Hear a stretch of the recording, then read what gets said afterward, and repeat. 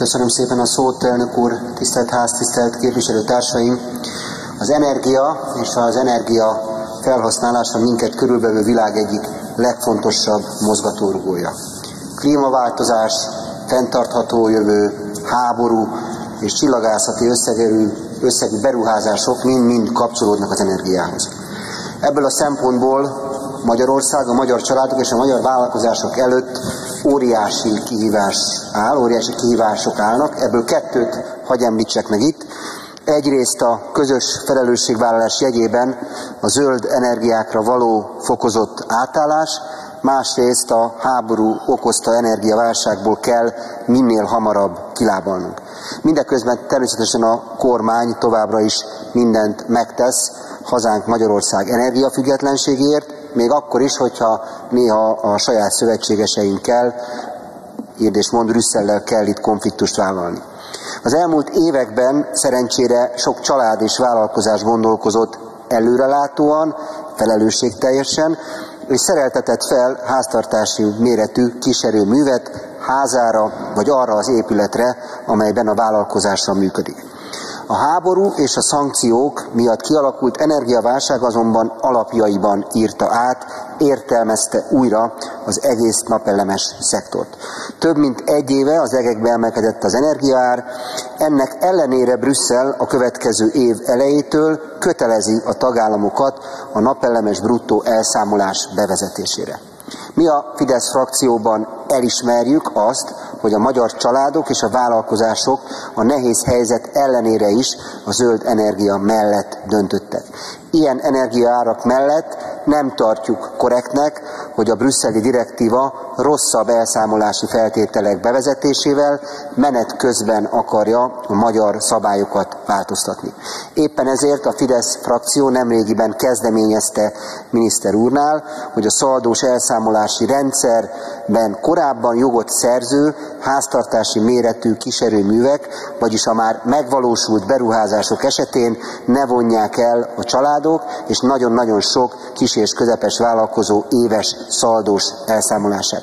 Mindezek alapján kérdezem tisztelt államtitkár asszony, hogy a számok tükrében hány magyar családnak és vállalkozásnak jelent segítséget a napellemes rendszer éves elszámolásának megtartása. Várom megtisztelő válaszát. Köszönöm szépen, képviselő úr. Konzsófia, miniszterhelyettes államtitkár hogy fog válaszolni, parancsolja. Köszönöm szépen a szót, tisztelt elnök úr, tisztelt képviselő úr, tisztelt ház. Először is szeretném azzal kezdeni, hogy az elmúlt időszakban a napenergia térnyerése hihetetlen ütemet vett fel hazánkban, hiszen Magyarországon a világon a hatodik, Európában pedig a harmadik helyen áll a napenergia részaránya a villamosenergia mixben. Ez az ütem egyébként még gyorsabb, a tavalyi rekord 1100 megawatthoz képest már nyár végéig ezt sikerült túlhaladnunk, tehát azt látjuk, hogy a napelem térnyerése hihetetlen mértékben növekszik. Számszerűen idén nyáron az összteljesítmény átlépte az 5000 megawattot, és azt látjuk, hogy a háztartási méretű kiserőművek esetében pedig túllépte a 2000 megawattot is.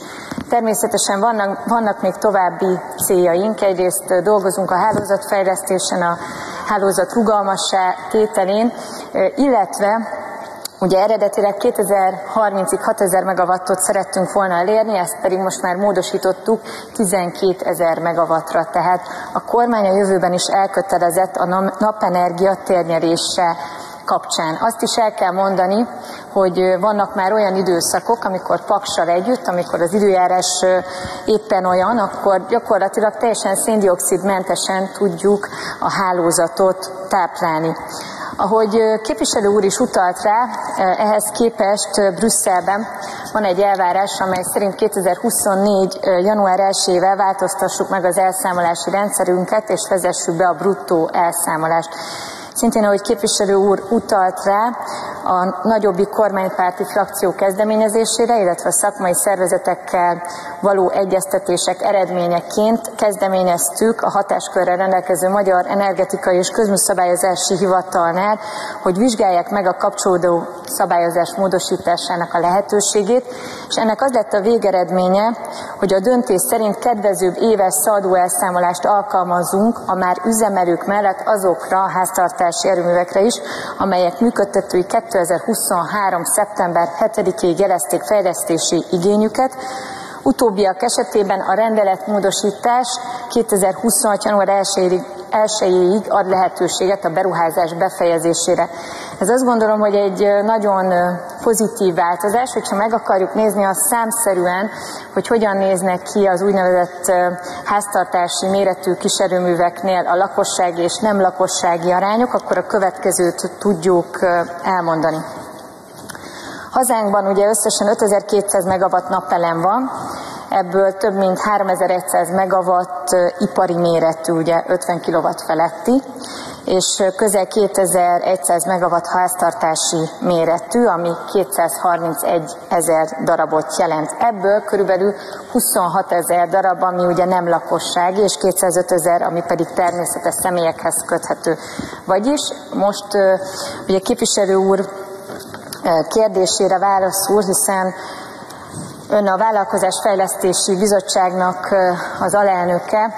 Azt tudom elmondani, hogy természetesen ez a magyar családok számára is egy hatalmas segítség, de a magyar vállalkozások számára is egy nagyon jelentős segítségnyújtást jelent, hiszen sokkal kedvezőbb elszámolásról tudunk beszélni, és azt ki tudjuk emelni, hogy a 26 ezer nem lakossági úgynevezett HMKM belül több ezer vállalkozást érint ez a döntés, és ezzel pedig a magyar kis- és középvállalkozások, amelyek a hazai gazdaság gerincét jelentik, nekik tudtunk azt gondolom, hogy egy nagyon-nagyon pozitív döntést hozni.